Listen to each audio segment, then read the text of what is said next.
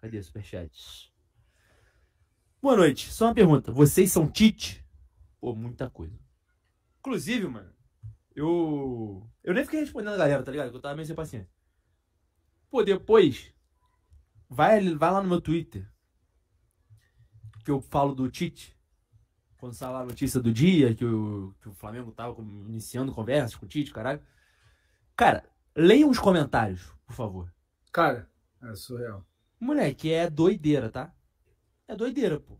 Cara, É, eu quero falar, quero falar sobre isso, mano.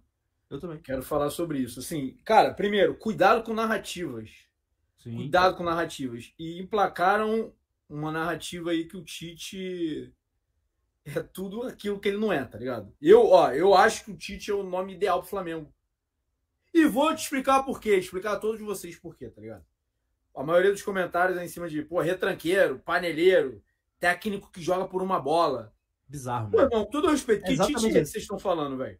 É Que bizarro. Tite é esse que eles estão falando? Porque, tipo assim, porra, eu sei que ele deixou a imagem arranhada, tá ligado? Da última Copa. Eu também teria feito, pô, várias paradas diferentes e tal. Porra, enfim, a gente já falou sobre isso em algumas lives aqui, eu tenho algumas críticas. Mas, tipo, da- daí é construir a narrativa mentirosa, eu acho muito errado, tá ligado? É, Porra, moleque, assim, por exemplo, retranqueiro. Aí você vai, vai pegar a última Copa, né? Você vai olhar pra última Copa e vai falar, é, porra, não era pra ter tirado o Vinícius Júnior ali contra a Croácia. Concordo. É, Mas o que que você tem pra falar na escalação? Eu, eu não vejo. E aí você pega a escalação, porra, até tinha anotado aqui, mano, pra falar, que eu queria muito falar sobre esse assunto.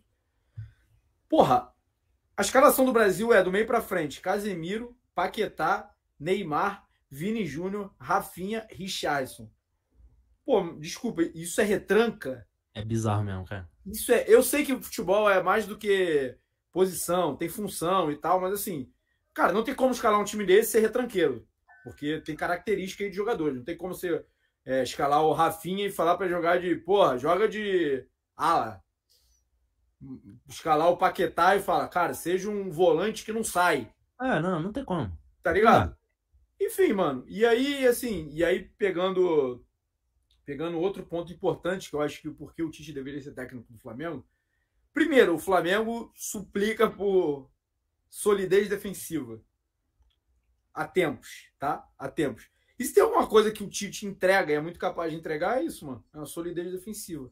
Assim, Ah, todos os trabalhos dele, todo, porra, até olhei aqui, de, sei lá, dessa década, pegando a última década e essa agora, todos os trabalhos dele, você poderia, poderia fazer críticas até ofensivamente em algum momento e tal, um time ou outro. Mas, pô, defensivamente não tem o que falar, tá ligado? Isso maluco- é coisa de técnico bom. O técnico maluco- bom mostra trabalhos defensivos cons- consistentemente. Não, e aí tem outra parada, moleque. Tem outra parada que eu vejo muito de flamenguista, principalmente, que é o Tite odeia o Flamengo. Cara, é sabe por que as pessoas falam que o Tite odeia o Flamengo? Porque ele tinha data FIFA, É. ele convocava jogadores, jogadores do Flamengo. Que é o E se não convocar, você vai falando que odeia porque não, não convoca. É isso, mano. E assim, pô, eu não vou negar, em algum momento lá, é, eu pensava, porra, jogo importante do brasileiro, Tite amistosinho, porra, meio merda da É. seleção. Precisa mesmo convocar uns caras aqui do Brasil e tal. Eu tinha essa opinião e continuo tendo, assim. Eu acho que.